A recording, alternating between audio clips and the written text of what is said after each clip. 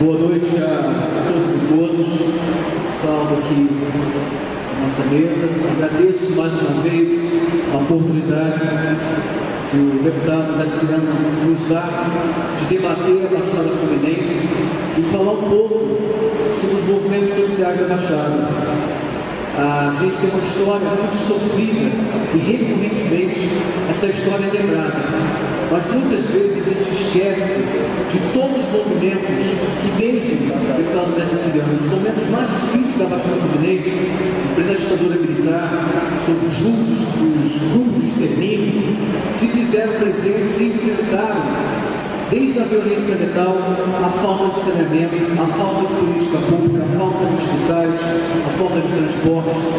E teve, principalmente, numa igreja, a Igreja Católica da Baixada, na figura do bispo Dom Adriano, que sempre terminava suas celebrações é, falando viva o povo, sofrido da Baixada Fluminense, a acolhida com a nossa experiência junto à Concausa, a saúde de direitos humanos que nós estamos abusando Brasil afora, a gente foi perceber que os horários da Baixada não é somente uma Baixada de exclusão, era uma Baixada cheia de gente com várias virtudes, com várias boas práticas. Então, ter essa casa reconhecendo o Dia da Baixada, esse marco proposto pelo Fórum Cultural da Baixada, outro movimento social da região, é importantíssimo, ainda mais nesse momento que nós vivemos de mudanças na nossa região.